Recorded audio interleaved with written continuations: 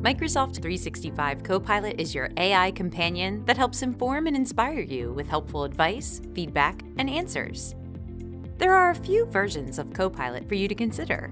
Let's take a look at Microsoft 365 Copilot Chat and Microsoft 365 Copilot.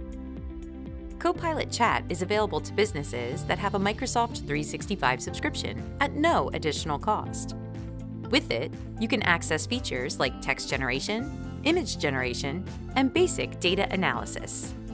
Because it's grounded in the web, it can reason over the entire internet and quickly pull in relevant information.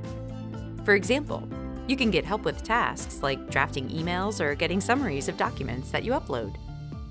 Next is Microsoft 365 Copilot, the paid version of Copilot, which gives you all of the functionality of Copilot Chat, plus the ability to access business emails, create Teams meeting summaries, summarize information in Word or Excel, create draft PowerPoint presentations, find information in OneDrive and SharePoint, and more. Finally, Copilot agents are available in both Microsoft 365 Copilot and Copilot Chat. These AI driven agents can be created and used to connect to your organization's data to automate and execute business processes. With them, you can troubleshoot with customers in real time or let it handle repetitive tasks like answering commonly asked HR questions. There are agents that are free and agents that are billed based on usage.